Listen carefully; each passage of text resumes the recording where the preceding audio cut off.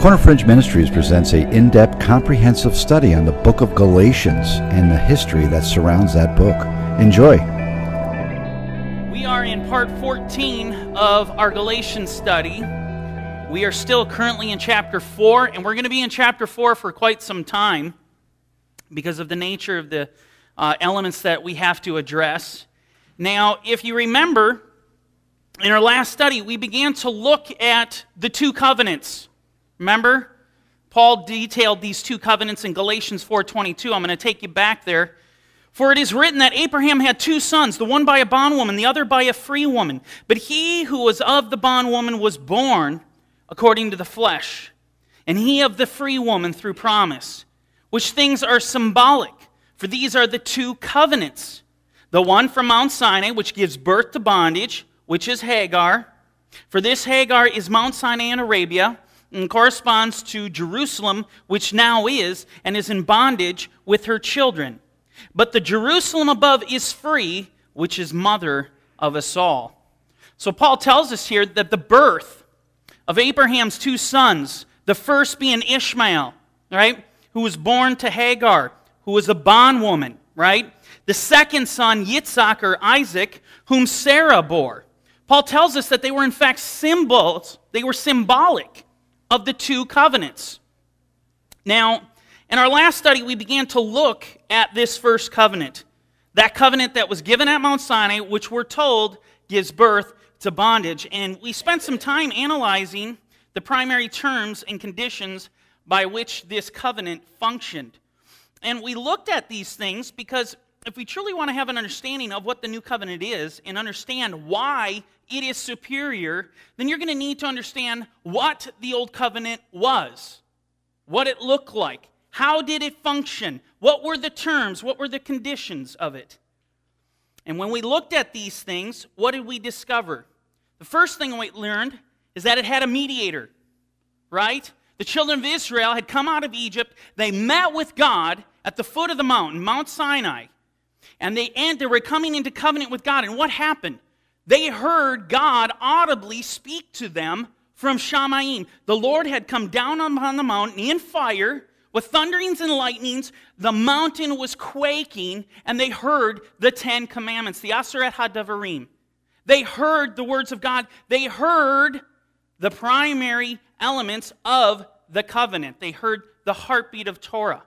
How did they respond when they heard God speak to them the terms of the covenant. They said, Let not God speak with us, lest we die. Moses, you speak with us, and we will hear, but let not God speak with us. So what happened? The children of Israel, as they're coming into covenant with God, they ask for a provision to be made. They want a mediator of this covenant between them and God. How does God respond? He responds positively. He says, What they have spoken is good. And so he gives them Moses as the mediator of the covenant. This is the first thing I want you to bring back to your memory is that there's a mediator under the old covenant, and that mediator is Moshe. It is Moses. The second thing we looked at in, uh, in, under the old covenant was the tabernacle, was the command for the children of Israel to actually build a sanctuary for the Lord. Now, why would they build a sanctuary for the Lord? What was the primary objective here? We're told in Exodus 25 8, let them make me a sanctuary that I may dwell among them. It's a very powerful, very instrumental component to the old covenant was the institution of the tabernacle because what did that do? It created intimacy, relationship, a close intimacy between the children of God and God Himself. Why? Because now He was going to dwell among His people. This is a beautiful intimacy. The tabernacle, or the temple, you could say by extension, it was a house of worship. We came here to worship. It was called a house of prayer. They would come to, to petition God. It was at this place. So, as you can see, the tabernacle is very instrumental, very important component of the old covenant and its purpose was that God would dwell with them. Now, another critical component of the Old Covenant, which we looked at, was the institution of the Aaronic priesthood. Now, the Kohanim, you need to understand, they played a pivotal role in the covenant that God made with his people, as they were the ones who literally taught Torah to the people. The Kohanim would stand, they would give understanding to the children of Israel. They were the ones to do that. And not just that, what else did they do? They made atonement for the children of Israel. This is very important that you understand this. They were in charge of the temple services, the temple sacrifices, and by the Kohanim being ordained by God, they kept the children of Israel in good standing with God. Because what does sin do? It separates us. The Lord set up a system, a temporary system, as we're going to find out today, but He set up a system to allow an intimate relationship to continue. So when they failed, they sinned, the blood would be shed upon the altar. And then they could remain in that intimate connection with God. That intimacy was, was, was preserved, and the Kohanim, they interceded on behalf of Israel. One of the other things we looked at was the commandments, the heartbeat of Torah, the Ten Commandments. These are the fundamental terms that were required under the Old Covenant.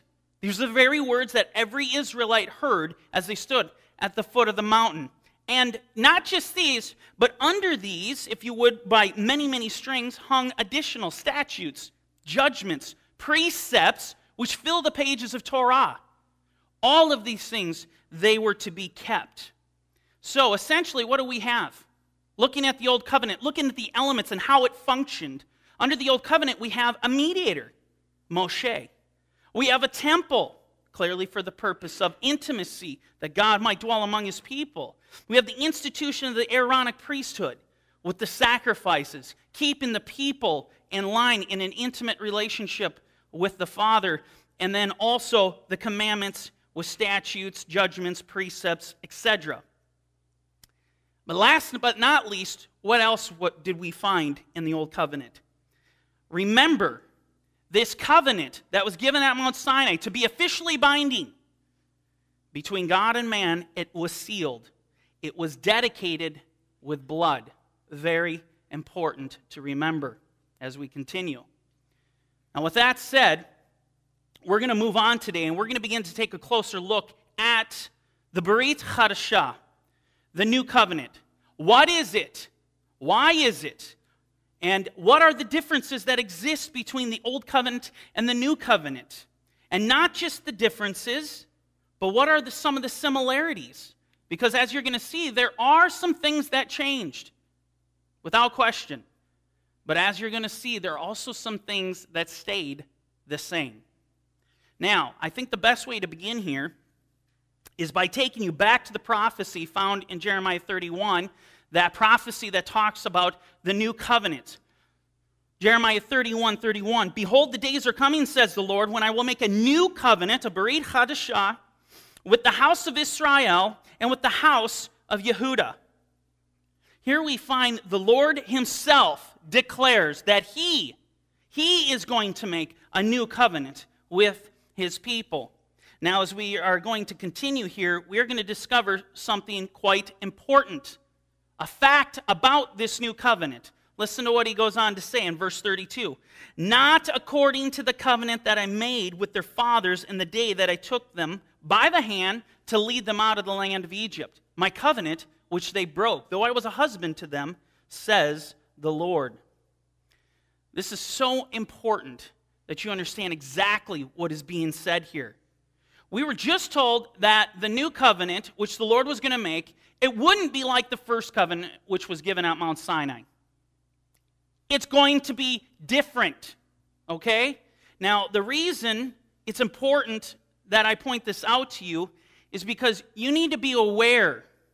You know, if, if, if you're coming, if you're new to the Hebrew roots movement, you're discovering your Hebraic roots through by putting your faith in the King of the Jews through Yeshua.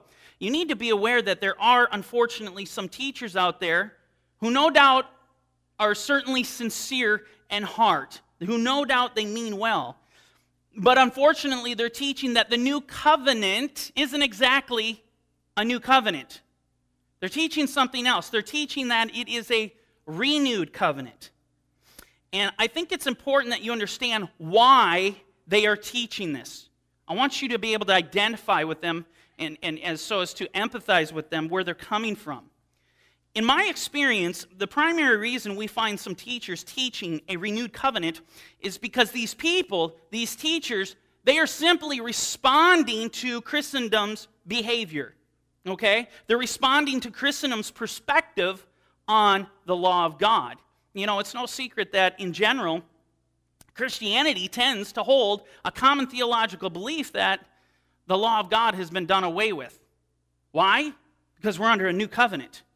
And so, because we're under a new covenant, the law has dissolved. It no more applies to us. Therefore, because Christendom has taken this position, we find that there are some teachers who, in a move to retaliate or to refute such an erroneous teaching, they attempt to counteract these teachings with the teaching that there isn't a new covenant, but rather a renewed covenant. And thus, in their mind, they feel like, hey, we are preserving the integrity of scriptures, we are preserving the law of God. Let me say this while I can appreciate their sincere concern over what Christianity has, by and large, done to the law of God, the teaching of a renewed covenant utterly falls short of scriptural truth. It utterly falls short of the biblical witness, the biblical testimony, and it fails to understand truly what Yeshua has done for us. Now, you don't establish truth by peddling fallacy. Don't fall into that trap. Don't seek to prove your point by creating things, creating doctrines out of thin air. It doesn't work, it doesn't bear good fruit. It only present, it prevents those who are truly coming into the faith, it puts a stumbling block before them rather than putting a building block there for them. I want to take you back to Jeremiah. I want to reread the prophecy to you again, lest you believe that it's a bad translation. Pay close attention. Jeremiah 31 31. Behold, the days are coming, says Yahweh, when I will make a Berit Chadashah with the house of Israel and with the house of Yehuda. Now listen, not according to the covenant that I made with their fathers. Does this sound like a renewed covenant? Not according to the, com- the, the, the covenant that I made with them at Mount Sinai. This sounds like a new covenant. Unless you believe this is a poor translation, let me show the Hebrew to you. This is lo chabarit. Lo is easy to remember in Hebrew because it rhymes with no. That's what it means. No, not. Not cha, like the covenant, berit. Not like the covenant. This is exactly what it says in the Hebrew. So it is not a poor translation. So this begs the question I understand what I said. Daniel said earlier that there were things that changed, but there was also things that stayed the same. Well, how do you reconcile that? What changed and what didn't? Well, that's why we're doing the study, so that you can look at it, because the scripture bears witness of itself and explains to us the changes. It tells us what stayed the same. And as we continue in this prophecy in Jeremiah, we're going to discover our first change to the Old Covenant, from the Old Covenant to the New Covenant. And not just that, we'll also discover the first similarity. Jeremiah 31 33.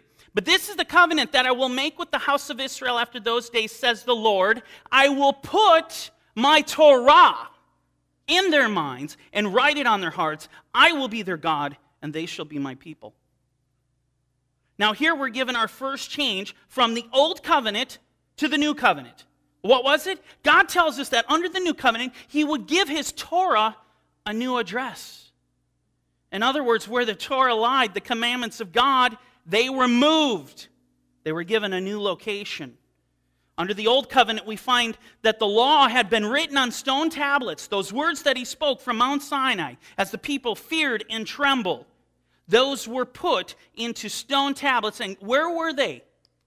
They were in the Kodesh HaKodeshim, in the Holy of Holies. This is where the new commandments, they rested, they, they, they lied. But under the new covenant, what do we find? We find that the location of his law has been moved from those tablets that rested in the Kodesh HaKodeshim to the tablets of our heart. Now, does this mean that the law of God was done away with? Is that what the new covenant is? Is that the law was done away with? Of course not. The new covenant did just the opposite. We now, through faith in Yeshua, we have an intimate connection with God. That desire is now in us to actually observe the law of God. Why? Because it's been inscribed upon our hearts. So here we're given our first change, and here we're given our first similarity. The law stands, it didn't dissolve, simply just received a new home. And coming to this realization might give you a slightly different perspective on the relevance of God's law for our lives today. Instead of running away from His law, what should we be doing? We should be embracing His law, His righteousness. Let me ask the question How did the Lord move the commandments from stone tablets to the tablets of our heart? I want to take you back and show you how the primary terms of the covenant were originally written. Exodus 31 18. We read, When God had made an end of speaking with Moshe on Mount Sinai, he gave Moses two tablets of the testimony, tablets of stone written with the finger of God. We're told here that it is the finger of God that literally etched into stone the Ten Commandments. Now, I want to give you a closer look into what this finger of God is that wrote the law. And I want to do this by taking you to two of the synoptic gospels, specifically Matthew and Luke. And what I'm going to do is this I, am going to show you the same event or passage as recorded in both the book of Matthew and the book of Luke. And by so doing, we're going to learn something fascinating. Something fascinating about this finger of God. Because although Matthew and Luke record the very same event, we find that they do so in a slightly different manner. And what does this do for us? It opens up a world of understanding. Now, the specific passage we're going to look at here is where Yeshua, he's just, a, he's healed a blind man, a mute man, a man that was demon possessed. He goes out, he casts out the demons. What do the Pharisees do? They come rushing in and say, huh, the only way you're doing this is by the ruler of demons, by, by Al Zavuv, Baal Zavuv. And so, in response to this accusation of the Pharisees that he's casting out demons by the ruler of demons, Yeshua responds this way. We'll look at Luke's account first. Luke 11 20. But if I cast out demons with the finger of God, surely the kingdom of God has come upon you. Did you catch that? Yeshua just told us that he cast out demons by the finger of God. The very thing which we were told inscribed the law upon stone tablets. Now, I want you to look at the same passage as recorded by Matthew. It's going to give us a little bit more insight into what this finger of God is. Matthew records, But if I cast out demons by the Spirit of God, surely the kingdom of God has come upon you. This is a powerful piece of information to possess. Understanding that the finger of God is, in fact, the Spirit of God gives us great insight into the mysterious work of the Lord. It gives us insight into His work into the new covenant, where once the Spirit of God had etched into stone tablets His commandments, we now find that very same Spirit, that finger, etches into our hearts the commandments of God. The very same. And there's more to this. Let me put back up on, on the screen here for you the temple.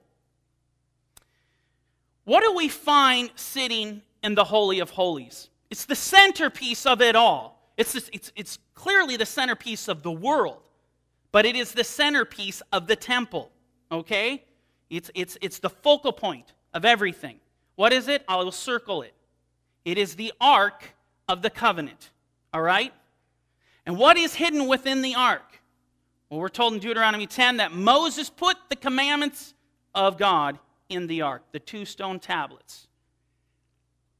Is that it? Is that all that resided in the Kodesh HaKodeshim? What else dwelt in the Holy of Holies? Well, let me take you back to Exodus 25 8. Let them make me a sanctuary that I may dwell among them. What else dwelt there? the Ruach HaKodesh.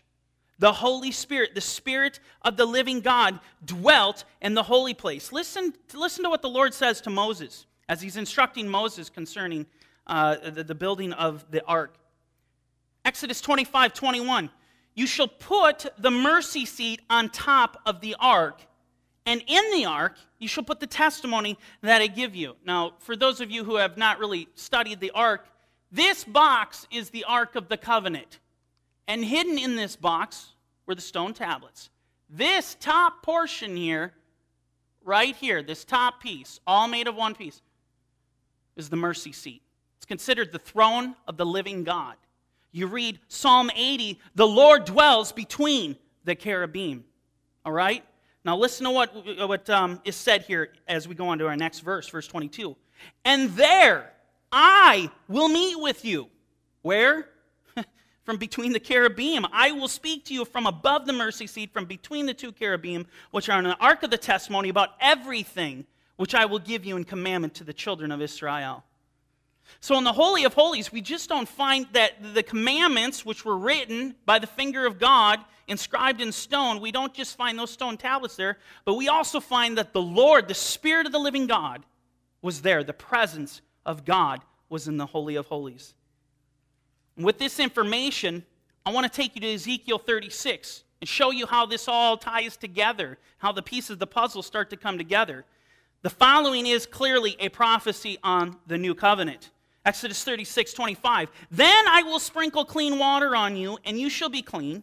I will cleanse you from all your filthiness and from all your idols. I will give you a new heart and put a new spirit within you. I will take the heart of stone out of your flesh and give you a heart of flesh. Verse 27 I will put my spirit within you and cause you to walk in my statutes. You will keep my judgments and do them. This is the promise of the new covenant. Where once we found that the commandments, which were written on stone uh, tablets and hidden away in the Holy of Holies, along with the dwelling presence of God, meaning the Spirit of God, we now find that under the new covenant, His commandments, His Spirit, now resides in us. And this is why we find Paul on many occasions referring to our bodies as the temple of God. Listen to what he says in 2 Corinthians uh, chapter 6 verse 15. What accord has Mashiach with Belial? Or what part has a believer with an unbeliever? And what agreement has the temple of God with idols? For you are the temple of the living God. As God has said, I will dwell in them. Sound familiar? That was the very reason they constructed the tabernacle, that he might dwell among them. And in the Hebrew, it's tavech. It means it could dwell within them. I will dwell in them and walk among them. Now, listen to what is said next I will be their God, and they shall be my people. You need to understand something about this statement here. When you see this statement, I will be their God, and they shall be my people, this is a statement that explicitly refers to the new covenant. Every time you see this statement, you should be thinking new covenant. These are the very words that we read in the prophecy found in Jeremiah, Yirmiyahu, as he's testifying, as he prophesies of the new covenant. They're the very same words spoken in Ezekiel, Ezekiel 37. Furthermore, we find similar passages that Apostle Paul and the Apostle Peter use from Hosea chapter 2, where they were not once a people, but now they are the people of God. I will be their people, and the people will say, You are my God.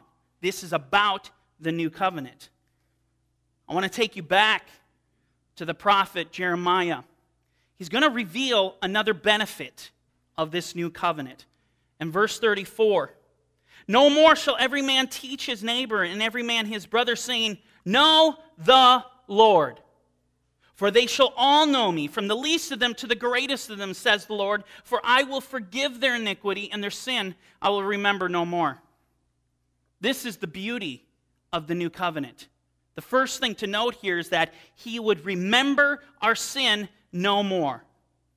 What a blessing that is. As far as the east is to the west, so far he has removed our transgressions from us. He will never remember our sins no more. And clearly, this is referring to what his son did for us at the cross, paying our penalty. Amen? And because of this, we find that because of this beautiful work that is, that is stated here, an intimacy is created. There's a beautiful intimacy here. He says, no longer. Look at what he says here in, in this passage as, I, as, I, as I'm perusing over it again. Look at what he says. He says, No longer will men say to each other, Know the Lord, for they shall all know me.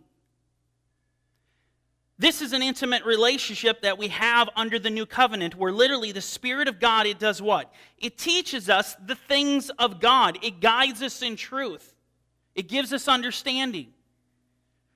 Now, as far as this statement goes, all shall know me. What does that mean? I mean, I want you to think about something for a second. What does it truly mean to know the Lord? Do we have a scriptural reference that defines what it means to know the Lord? As luck would have it, we do. Has nothing to do with luck, but we do.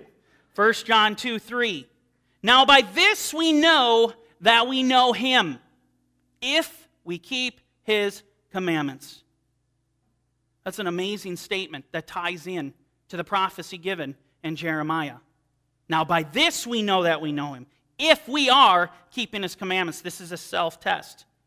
So, if we put all of this together, we realize that being a part of the new covenant means that he would write his laws in our hearts and in our minds, signifying that we would, in fact, be doing what? Keeping his commandments. And because of that, we know him. This is how we know him. This is the fruit of those who are truly children of the new covenant. It's the proof that they have been sealed with the Holy Spirit because they're bearing the fruit of the Holy Spirit. So, with that said, let's look at what we have covered thus far regarding the differences or the changes that exist between the Old Covenant and the New Covenant. Thus far, we have found that number one, the law of God has received a new address. Okay? Moved from stone tablets to the tablets of the heart. And yet, looking at this, we also find a similarity something that continued from the old covenant to the new covenant. And what is that? God's law. God's law stands. It didn't go anywhere, it didn't dissolve, it just received a new home. I want you to think about something for a minute. Pay close attention here.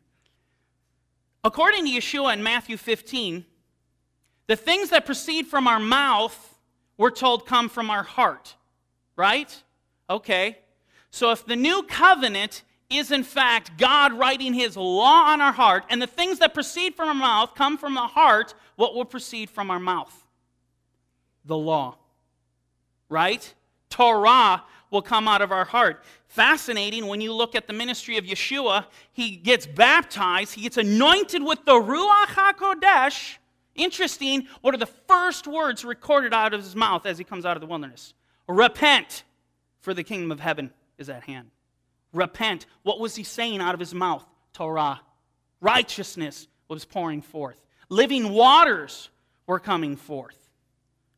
If you're truly a child of the new covenant and you understand the covenant, you could never say out of your mouth the law is done away with. That's an impossibility. That's a complete contradiction. To be a child of the new covenant, to stand in faith in Yeshua, Torah will proceed from my mouth. Let's look at the second thing the Spirit of God now dwells in us. That's beautiful. The Spirit of God, where it dwelt once time in the Holy of Holies, the Holy Spirit. This is God. We're now told that He dwells within us, and thus we are now called the temple of God. Very powerful. With that said, let's move on to our next change that occurred upon moving from the Old Covenant to the New Covenant. And what is that change? It's the Aaronic priesthood. The Aaronic priesthood is changed. Now, the writer of Hebrews, he describes this whole process in great detail and how this change had come about. And what we are going to see here right off the bat is that the writer of Hebrews, he does something very, very intelligent. We find that he strategically builds a case before he dare make some ridiculously controversial statements. Statements, mind you, that have the ability to cause quite a stir, like those words that we read from Paul in Galatians 4, when he actually started saying stuff like, uh, that beautiful covenant that was given on Mount Sinai, yeah, that gives birth to bondage. And oh, yeah, the holy city, the city of the great king, Jerusalem, yeah, she's in bondage too. Those will get you, words like that will get you stoned. And you're going to see similar statements uh, being made here. So let's take a look at this commentary by the writer of Hebrews uh, on this change to the priesthood. In Hebrews 7 1, we read, For this Melchizedek, king of Shalem, or you could say Shalom, priest, Cohen of the Most High God, who met Abraham returning from the slaughter of the kings and blessed him, to whom also Abraham gave a tenth part of all, first being translated king of righteousness, and then also king of Shalem, meaning king of peace. Now, the writer of Hebrews, he tells us that this Melchizedek, the name Melchizedek, actually means king of righteousness. And he's right. If you look at the construction of his name in the Hebrew, we discover that the first part, Malach, Malach in Hebrew is king. Amam Lamed Chaf Sofit. It's Malach is king, and then you have Zedek, Melchizedek. His name literally means, its construction in Hebrew, king of righteousness. Now, we're told that this uh, Melchizedek was not just a king. He wasn't just the king of Shalem or Shalom. He wasn't just the king of righteousness. We're told he is also a Kohen. Very, very important. At the same time, this wasn't at different intervals in his life. He bore both of these titles at once. Why is this significant? It's significant because we find Yeshua himself holds both these titles at once. This is one of the fascinating characteristics of Yeshua. He is not just a Melech, he's not just a king, he is also a Cohen. And the Jewish prophets foretold of the Mashiach that this is what he would be the Mashiach to come in Zechariah 6:12. Thus says the Lord of hosts saying, behold the man whose name is the Tzemach or the branch from his place he shall branch out. He shall build the temple of the Lord. Yes, he shall build the temple, Lord. He shall bear the glory and sit and rule on his throne. This is a messianic prophecy about the Mashiach that was to come. He was to build the temple and he's going to rule on the throne. He is the Mashiach ben David. He's the son of David. He is the heir to the throne. He's a king. This is talking about a king. But as we continue, that's not all. Then we read, So he shall be a Kohen on his throne, and the counsel of peace shall be between both offices. Now, the offices of, of which the prophet is referring to here is none other than the office of king and also the office of priesthood. Where we're told that there's going to be a counsel of peace between these two offices. And what that means is that the same guy would hold both offices simultaneously at once. Now, that's not all. The writer of Hebrews goes on to describe, to give more attributes about this Melchizedek because he's building a case. He says in verse 3 this Melchizedek was without father, without mother, without genealogy, having neither beginning of days nor end of life, but made like the Son of God, remains a Cohen continually. The writer of Hebrews, he's sharing all these attributes that Melchizedek possessed because he's purposely he's drawing parallels here that exist between Melchizedek and Yeshua. Because just as Melchizedek had neither beginning of days nor end of days, so too we find Yeshua, he had neither beginning of days nor end of days. Do I have any scripture to back that up? I do.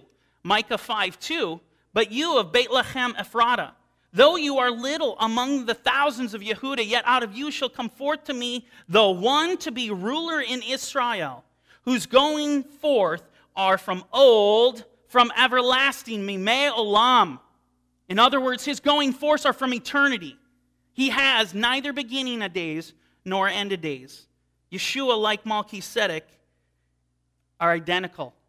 All these parallels that Melchizedek present, uh, uh, possessed, they were all symbolic of the greater one that was to come, the Son of the living God. Now, the writer of Hebrew goes on to state in verse 4 in chapter 7. Now consider how great this man was. Speaking of Melchizedek, to whom even the patriarch Abraham gave a tenth of the spoils. Abraham tithed to Melchizedek. You can read Genesis 14. And indeed, those who are the sons of Levi, who receive the priesthood, have a commandment to receive tithes from the people, according to the Torah. And you read Torah, you find that's true. That is from their brethren, though they have come from the loins of Abraham. In other words, the writer is seeing, hey, the, the Kohanim, the Levites, they were separated. As they were coming out of Egypt, the Lord separated the Levites to serve him, and they received the tithes. Not just the sons of Aaron, but, but all of the Levites received tithes from the children of Israel. Now we go on to verse 6. But he whose genealogy is not derived from them receives tithes from Abraham and blessed him who had the promises. Now, beyond all contradiction, the lesser is blessed by the better. In other words, the lesser, Abraham, is blessed by the better, Melchizedek. Here, mortal men receive tithes, but there he receives them, of whom it is witness that he lives. Even Levi, who receives tithes, paid tithes through Abraham, so to speak, for he was still in the loins of his father when Melchizedek met him. Now, the writer here, he's going to go on to get to the heart of the matter where we're about to witness the change from the old covenant to the new covenant. Verse 11. Therefore, if perfection were through the Levitical priesthood, for under it the people received the Torah, what further need was there that another priest should rise according to the order of Melchizedek and not according to the order of Aaron? You need to remember that when the children of Israel entered into covenant with God at Mount Sinai, one of the core elements instituted at this time was the fact that the Lord had commissioned Aaron and his sons to serve as Kohanim, right? And in addition to that, the tribe of Levi, their brethren, they were given to the, to the sons of Aaron by God to perform the work of the tabernacle or the temple. And as you already know, this priesthood played a very, very significant role in God's covenant with Israel because it was the priest who made atonement for the children of Israel. They're the ones that performed the temple services. They're the ones that taught the people the law. They were the ones who gave the people the understanding. The priests were the ones who declared lepers clean and they were the ones who declared them unclean. It was the Kohanim. But the writer of Hebrews here, in verse 11, he alludes to the fact that perfection didn't come through the Kohanim, the priesthood that was given at Mount Sinai. He notes here that if perfection had, in fact, come through the Levitical priesthood, then there would absolutely have been no, it would have been unnecessary for another priest to come because that would have been it. That was done. That was the, fin- the finality of it all. There's no need for a priest to rise according to the order of Melchizedek. Now, listen to what the writer says next in regard to this Aaronic priesthood, which would certainly get you stoned in the first century. The priesthood being changed of necessity, there's also a change of the law. What a statement! Highly controversial. This is one of those statements that absolutely could get you stoned. There's a significant change, the writer tells us, moving from the old covenant to the new covenant. And it further reveals that this new covenant isn't merely a renewed covenant, it is new. It is built upon better promises with a different priesthood. This is quite significant. I want you to think of it this way I draw an analogy for you to understand the difference between renewed and new covenant. My computer, and I know this has never happened to you, it only happens to me. I'm using it, all of a sudden it freezes up. So frustrating. You're right in the middle of the work, and provided your hard drive didn't crash, it freezes up. What do you do? When your system fails, when the system fails, what do you do? You reboot. Isn't that what we do? We reboot. When we reboot, what happens? I have the same hard drive, I have the same operating system, and I have the same software. If I was to reboot, that is a great example of renewed covenant. It was made new again, it was refreshed, and now it's functioning, right? That is a good ideology, that's a good metaphor to, to paint you a picture of what it would mean to be renewed. Now, let me show you what a new covenant would look like. The same thing happened to me on my computer, okay? It, was, it, was, it, it froze on me. I reboot, but this time, though I have the same hardware, when I reboot, to my surprise, it isn't XP operating system. I'm given Windows 7. It's a different operating system. This is a good analogy for you to have when considering what, what really would be the difference between renewed, the ideology of renewed, versus new covenant. We're under a new operating system. This is not the same. Don't let anyone tell you. We may still have the same hard drive. Yes, the law of God stands, but you have to know, you have to understand, and you have to appreciate the difference going from the old to the new. Because then, only then, do you truly understand what Yeshua did for you. Shabbat Shalom. Music team can come back up. Um, next week, we are going to be uh, continuing on talking about the new covenant. We're going to get into the deeper matters of Torah, uh, the much deeper matters of Torah, and how we walk it out, not according to the letter, but according to the Spirit. Shabbat Shalom.